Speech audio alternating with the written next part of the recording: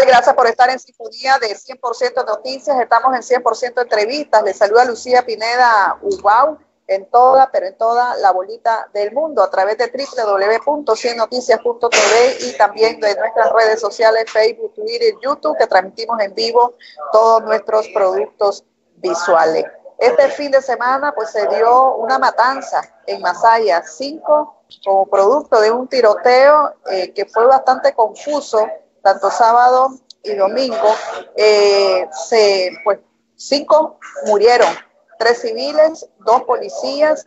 Según la policía, daban persecución a José Isaías Ugarte López, conocido como Chabelo, a quien señalan de delitos eh, comunes Ángela Oporta, viuda de Chabelo, dijo que su esposo no era ningún delincuente y que se lo mataron por pensar diferente. Entre los policías que resultaron muertos está Carlos Alberto Susen, de 32 años, y Luis Alexander Mendieta. Uno murió el sábado y el otro el día domingo. Hay una persona detenida, Norlan José Cárdenas Ortiz. De estos hechos, pues lo está conociendo también la eh, Comisión Permanente de los Derechos Humanos, CPDH, eh, y esta mañana Pablo Cuevas de la CPDH eh, daba una conferencia de prensa hablando sobre los acontecimientos de este fin de semana, este tiroteo que dejó pues cinco personas fallecidas. Tenemos a, a don Pablito Cuevas de la CPDH. Don Pablo, tal vez si nos explica un poco qué es lo que han podido ustedes recabar al respecto de todos los sucesos de el día sábado y domingo. ¿Quién realmente era Chabelo? Su esposa dice que era sandinista, que había, había separado del sandinismo a partir del 18 de abril del año pasado y estaba en contra pues, de las acciones gubernamentales de represión y que lo mataron por pensar diferente. ¿Qué más les ha dicho la familia? Don Pablo, gracias por... Gracias, Lucía. Gracias por invitarnos a este tan gustado programa.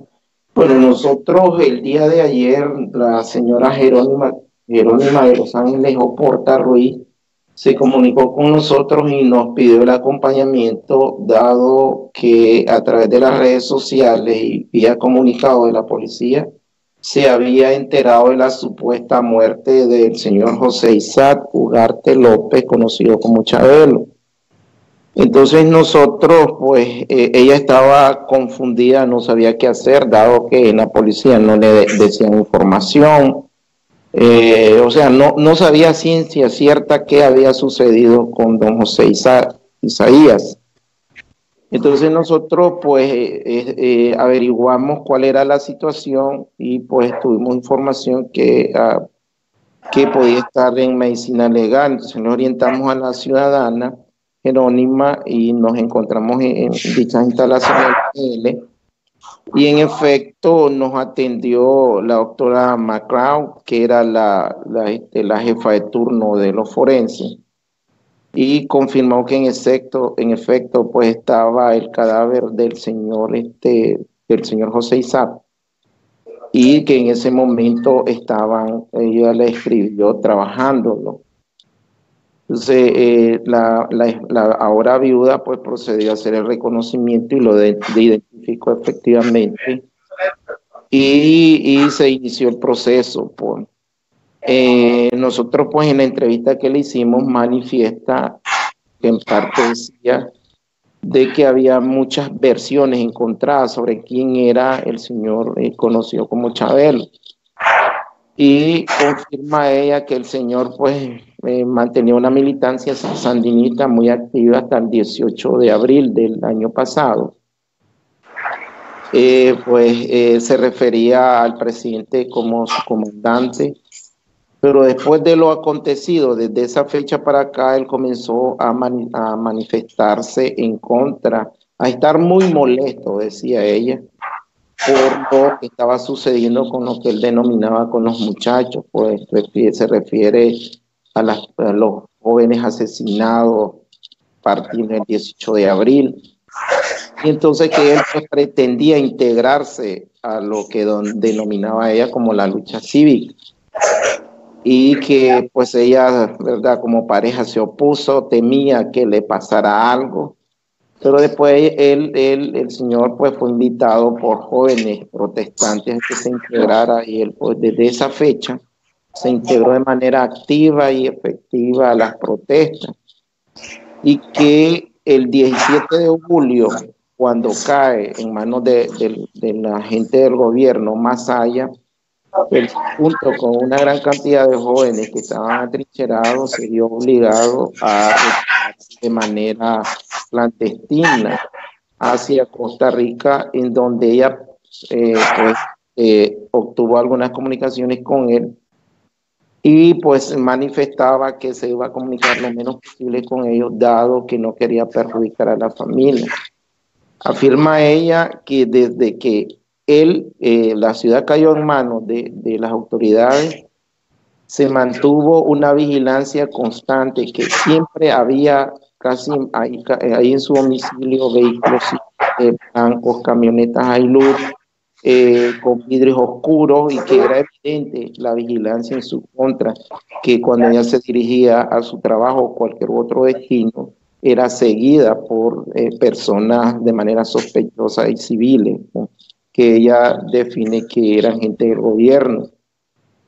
Y entonces refiere de que eh, fue hasta junio del presente año que paró la persecución, pues le llegó una cita de la policía de Masaya que fue entregada a la hija de, de la señora y que por cierto fue amenazada esta jovencita y entonces eh, ella, se, hasta esta cita se, se, presentó a la policía de Masaya y interrogada por un oficial de policía, quien le decía que su marido este, pues estaba en actividades que atentaba contra el gobierno.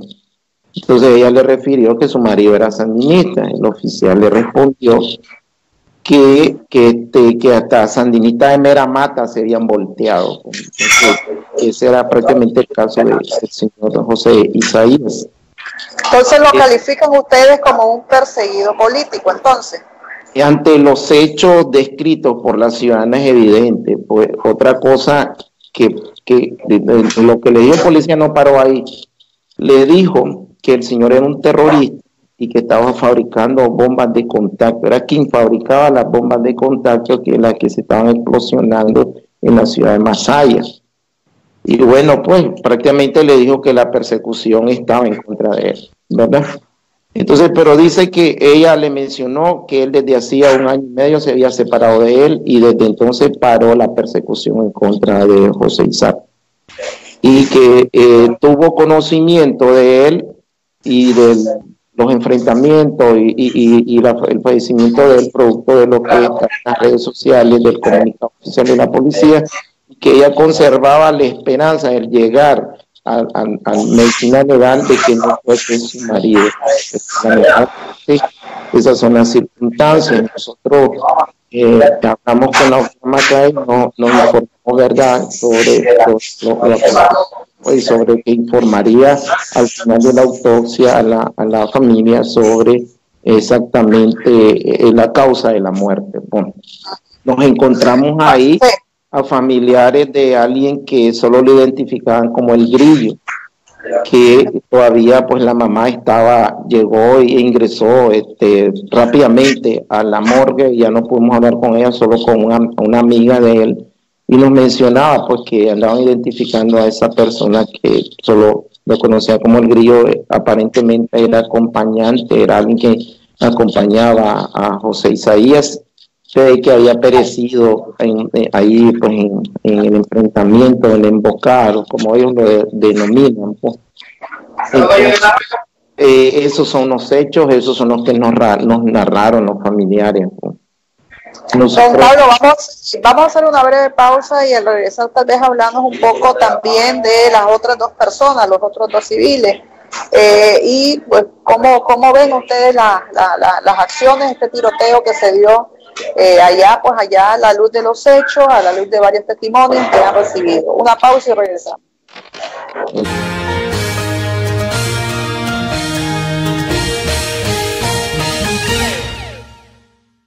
Nunca vamos a perder lo que nos llena, como la satisfacción de darle a la familia una buena nutrición, como avena en hojuelas sasa, que contiene hierro, calcio y proteína natural.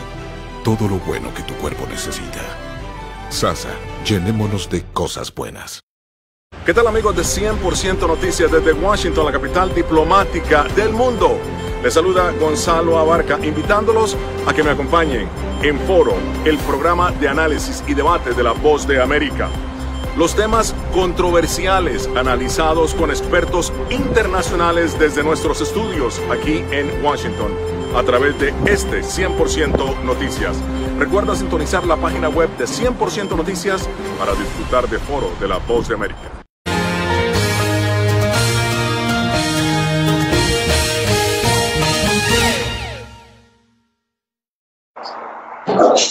Gracias por continuar con nosotros. Estamos en 100% entrevista. Converso con Pablo Cueva de la asesoría jurídica de la CPDH, la Comisión Permanente de los Derechos Humanos, sobre los sucesos ocurridos en Masaya el sábado y domingo que dejaron a cinco pues, personas muertas, tres civiles, dos policías. Eh, ya a la luz de los hechos, los testimonios, eh, la versión que da la policía, ¿qué conclusiones, a qué conclusiones llega la CPDH, don Pablo? Bueno, mira que, bueno, tenemos que, que eh, hacer algunos señalamientos, como bien lo decías, en cuanto a la comunicación oficial de las autoridades.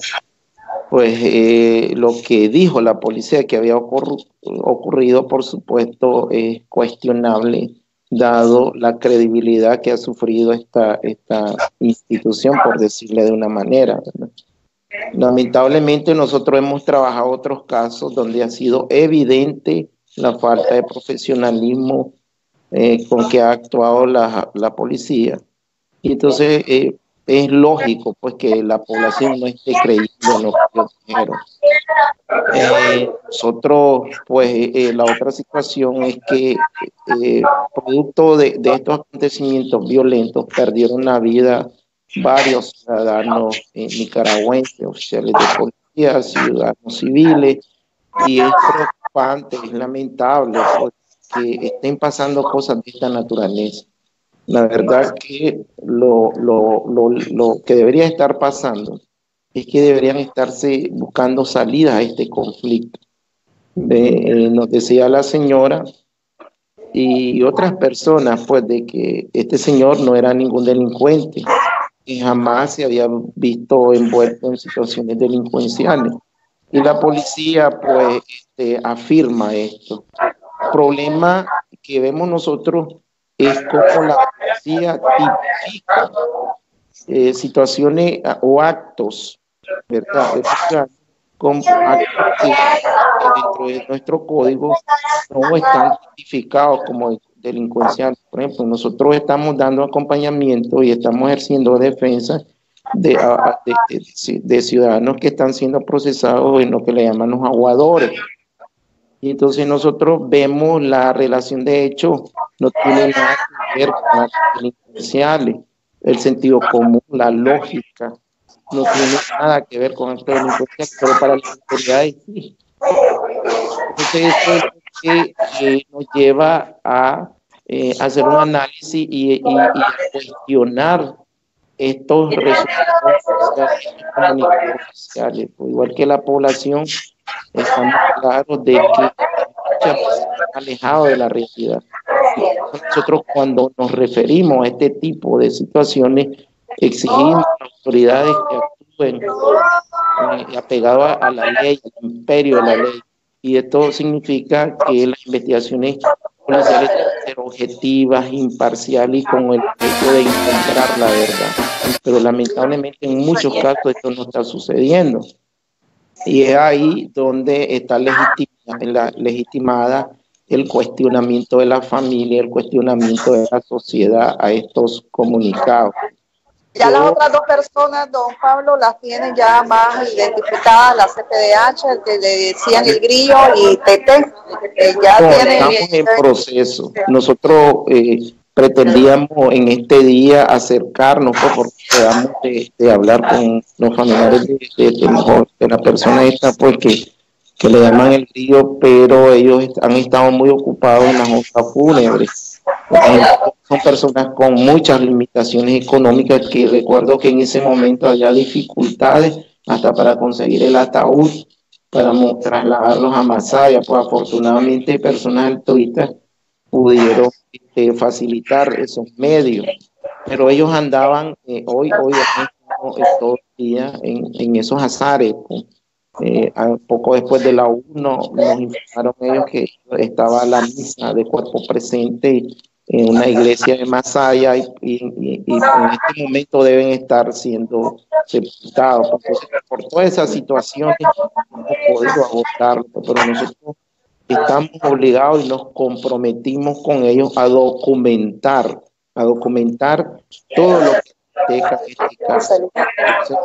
Y que esa promesa nosotros la cumpliremos como estamos documentando todos los casos que, que, los ciudadanos nos, nos, nos, han, este, nos, nos buscaron, dieron nuestro acompañamiento en este proceso, en este contexto tan lamentable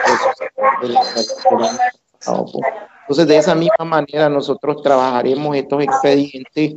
Sabemos que eh, están, eh, estos familiares están, eh, mañana tenemos entendido, estaremos, estaremos reunidos con algunos de estos familiares y, estaremos buscando toda la información para de que en algún momento se haga justicia en, estos casos. Pues ellos no, con los que hablamos nos dicen categóricamente que no creen en la justicia de las autoridades, en lo que en lo que resulte de estos procesos investigativos, ¿verdad? Es categórico.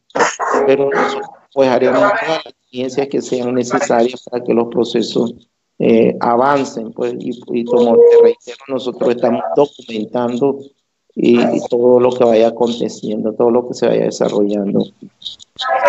Bueno, muchas gracias, don Pablo. Vamos a hacer una pausa y regresamos con otro tema. Bueno, vamos a profundizar siempre también porque tenemos declaraciones de eh, la esposa, la viuda, pues de el señor conocido como Chabelo y vamos a estar atentos también, don Pablito, a las investigaciones de ya con todos los datos que ustedes puedan recabar sobre esta situación. Muchas gracias, don Pablo, por habernos acompañado.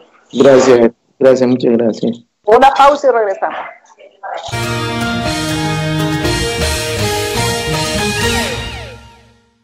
Nunca vamos a perder lo que nos llena, como la satisfacción de darle a la familia una buena nutrición, como avena en hojuelas sasa, que contiene hierro, calcio y proteína natural. Todo lo bueno que tu cuerpo necesita. Sasa, llenémonos de cosas buenas. ¿Qué tal amigos de 100% Noticias desde Washington, la capital diplomática del mundo? Les saluda Gonzalo Abarca, invitándolos a que me acompañen en Foro, el programa de análisis y debate de la Voz de América. Los temas controversiales analizados con expertos internacionales desde nuestros estudios aquí en Washington a través de este 100% Noticias. Recuerda sintonizar la página web de 100% Noticias para disfrutar de Foro de la Voz de América.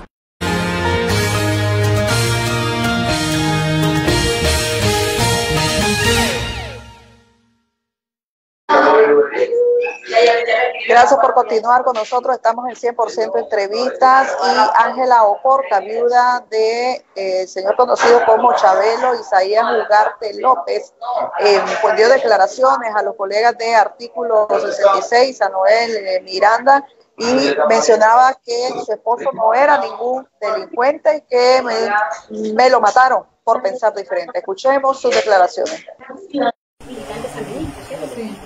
Este es un certificado que a él le dan de educación vial, ¿verdad? Que lo mandaban. Y este es otro certificado que cuando él sale del ejército de, la montaña... ¿El ejército popular sandinista? Sí, él lo mandan a Cuba a estudiar a él. Aquí como podrán ver. Eso es en los años 80. Ahí dice... ¿Qué año fue eso? Mm, veo el año. Aquí atrás creo que sale, sí. En el 76. En 1976. No. Le voy a dar vuelta porque atrás sale ahí.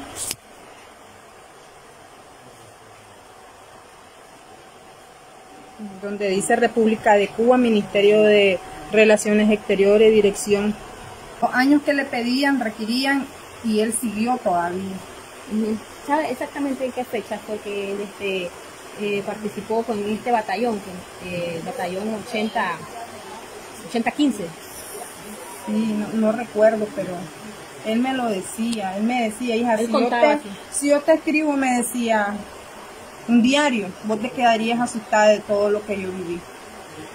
¿Cree usted que esto es parte de la represalia en contra de él por desertar de, de, de las líneas del sandinismo? ¿Sí? Incluso antes del 18 de abril de 2018, antes que comenzara la crisis, él, este, él era militante sandinista, participaba en los eventos del Frente Sandinista. A sus reuniones. Antes del 18 de abril. Sí, a, lo- a las reuniones, antes que todo esto cambiara. Votaba por el Frente. ¿eh? Votaba por el frente. Él, ¿Y ¿Cómo, pa- cómo, ¿Qué lo hizo cambiar de opinión, cree usted, de- después del 18 de abril de 2018? lo que le hizo cambiar de opinión fue todos los asesinatos que ocurrieron en Nicaragua, principalmente en Masaya. Los jóvenes que murieron, que estos jóvenes no sabían ni cómo defenderse, cómo luchar. Murieron tantos jóvenes y él se indignaba y él decía, yo no puedo hacer nada, me siento con las manos atadas, a ellos los están matando a sangre fría. Ángela, cuando él decide eh, desligarse de las líneas del sandinismo, él era amenazado, recibía amenazas, era advertido. No, no, no recibí amenaza. Sí, lo vinieron a buscar los CPC. ¿Le, pro- él. le propusieron en algún momento que él fuera parte de la represión? Sí, sí. Pero él se iba a trabajar, dilató un mes fuera después de la represión del mes de abril. Después estuvo viniendo, se iba y venía. Así estuvo él en su trabajo hasta que en mayo, cuando se metieron a Masaya, decidieron de nuevo cerrar todos los lugares de Masaya. Y él pues comenzó a acercarse un poquito más, a mirar y a participar en las marchas. ¿Él solo en las marchas participó? Sí, a donde a él le decían que apoyara y si él podía apoyar, él apoyaba. En los tranques que levantó la gente, por ejemplo. Él apoyaba en todos lados. Todo. Bueno, eran las declaraciones, las explicaciones y aclaraciones que da Ángela Oporta, la viuda de José Isaías eh, Ugarte López, conocido como Chabelo, y mostraba en un primer momento eh, pues hasta capacitaciones porque había recibido por parte del Partido Sandinista, también como militar en su momento, y que recibía, recibió en algún momento también capacitación en Cuba por parte del de, el Partido Sandinista. Bueno, eso es lo que está ocurriendo en Nicaragua, eh, esta matanza que se dio en Masaya, que dejó como resultado pues tres civiles muertos, dos policías también muertos, una persona detenida, Norla José Cárdenas Ortiz, ante pues, el tiroteo que eh, se, se, se, se, observó en todo este sector del barrio Cailagua el día sábado y también los acontecimientos del día domingo. Este lunes ya se realizaban pues, las honras fúnebres de los tres civiles y de los dos oficiales de la policía. Antes de despedirme, quiero reiterarles que visiten nuestra página web de 100% Noticias. Ahí encuentra todo nuestro contenido, toda nuestra información en 100% Noticias. En cada noticia también hay un link que dice invierta en la libertad de prensa y precisamente nosotros lo que le decimos, done vía PayPal lo que usted eh, pueda ah, para que se continúe manteniendo 100% noticias y sigamos informando en toda, pero en toda la bolita del mundo. Invierta en la libertad de prensa, puede hacer su donativa vía PayPal, puede también darle clic a nuestros videos en YouTube, clic a todas las informaciones en nuestra página web de 100% noticias. Entre más tiempo usted lee, entre más tiempo usted ve los videos, pues así nos ayuda a nuestra sostenibilidad. Por su atención, muchas gracias.